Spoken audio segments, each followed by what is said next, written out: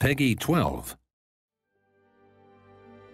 Noblemen and women, 80 years ago we cast off our Danish oppressors and soon fought alongside our allies in London to seize the Baltic from unfit tyrants. But now we stand again on the eve of war.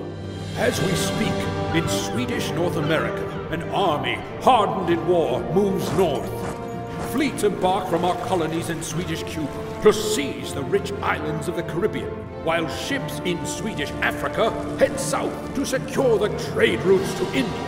Our other allies in Castile and Austria reassure us that they will honor our alliance.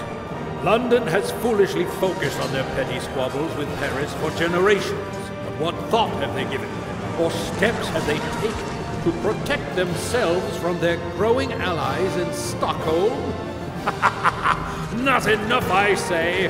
When storytellers and poets write of tomorrow, it will be of the day that England, nay, the world, was rocked by the great and mighty empire of Sweden.